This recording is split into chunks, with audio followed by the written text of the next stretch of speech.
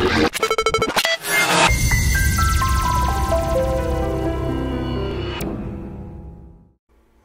what's going on? Welcome back, CISSP wannabes. These are the IT Dojo CISSP questions of the day, where each and every day you get two questions for you to ponder and contemplate. I'm Colin Weaver. Let's get right to it. First question today, coming at you in the world of firewalls. Which of the following, and I want you to pick five, are typically not allowed to pass outbound through a firewall heading out toward the internet? Pick five of them. Click pause. When you're ready, click play, and we'll break it down. Okay, first two items on the list, HTTP and FTP. Absolutely, we let these go out to the internet. Uh, the internet wouldn't be much fun without HTTP, and FTP not too far behind. Next item on the list is SNMP. Uh, no, we don't typically allow SNMP traffic to go out to the internet, so that's one of the five that we're looking for here. Then uh, DNS. Uh, DNS we absolutely allow out. So again, the internet's going to be even less fun without DNS, so do you definitely want to make sure that uh, selective DNS traffic is allowed to leave your network as well. Next guy on our list is uh, EIGRP, the Enhanced Interior Gateway Routing Protocol, uh, negative. Uh, he's an interior routing protocol, so he stays inside your network. He doesn't go out to the internet.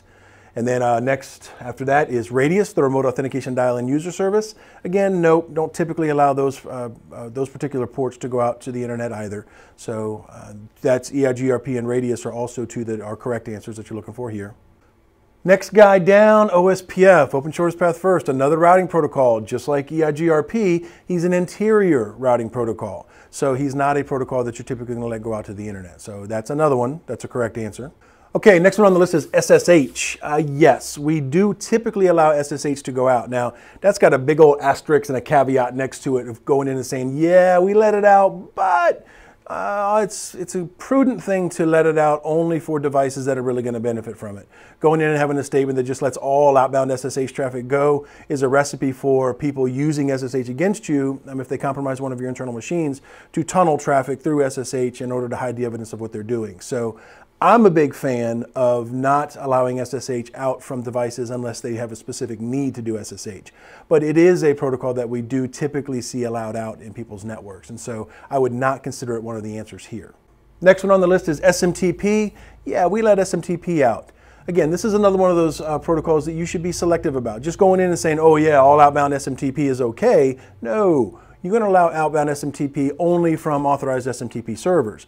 So just some node on your network originating an outbound connection to a mail server, um, a lot of times that's telltale of a problem. So, um, you know, or it, it, may or may not be, it you know, depends. But in general, you're going to want only traffic coming from your uh, from your internal network to be coming from authorized SMTP servers. So yes, we do let it out, uh, but it's something that you let out in a controlled way. So in the context of this question, no, I don't consider it to be one of the correct answers. And then the final player is LDAP, the Lightweight Directory Access Protocol. Um, LDAP is not a protocol that you typically allow to go out to the internet. Um, he's kind of a stay in the house kind of guy. So um, that's, those are the choices that you're looking for. So the full list of correct answers here, SNMP, EIGRP, Radius, OSPF, and LDAP. Those are the ones that we typically do not, at least from this list, allow to go out to the internet. Okay, here comes question number two. Uh, which of the following are characteristics of elliptic curve cryptography? I want you to pick four. Four. Okay. Click pause, give them a read. When you're ready, click play. We'll break it all down.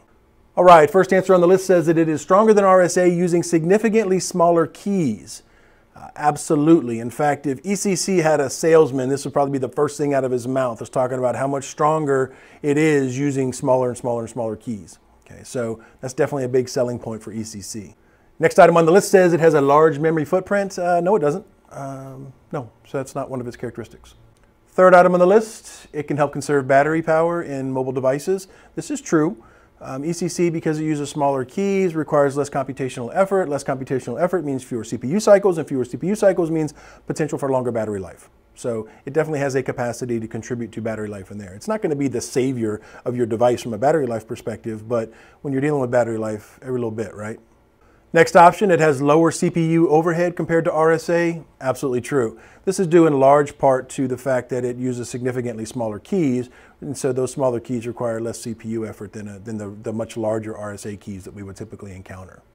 Next item on the list, it is not supported by most web browsers. Uh, that could not be farther from the truth. In fact, my research indicates that all the web browsers that I would anticipate people using on a regular basis absolutely support ECC these days. Uh, and in fact, it's not too uncommon for it to be preferred on an increasing basis for the web browsers and the web servers to go in and use elliptic curve cryptography in some way. So uh, Safari, uh, Chrome, Firefox, uh, those are the ones that all really matter to me. Those absolutely all support it. I suppose the Microsoft stuff supports it too, but I'm just kidding, playing with you, Microsoft. Next guy on the list says that ECC was introduced as an alternative to AES. Uh, could not be farther from the truth. Uh, ECC and AES, even though they both are cryptography related things, uh, don't have anything to do with each other, so no, that's not the correct answer. And then the last item, which is also one of the correct answers, is, is that it can be used in Diffie-Hellman key exchanges. In fact, it's increasingly and very commonly used um, as part of the Diffie-Hellman key exchange, uh, Diffie-Hellman key exchange to go in and use ECC in that process. So you bet. Um, ECC is definitely gaining a lot of popularity after many years of being around and not really making a lot of headway. It's been in the past several years that we've seen it make a tremendous amount of headway in its popularity and use on the internet. All right, there you have it. First question was on firewalls and what kind of protocols are you typically going to allow out to the internet going through your firewall. Second question was on some of the general characteristics of elliptic curve cryptography. I hope you dug those questions. If you did, make sure you push on that like button down there. Subscribe if you want to get these every single day. I'll be back tomorrow, and that's when I'll see you next. Bye.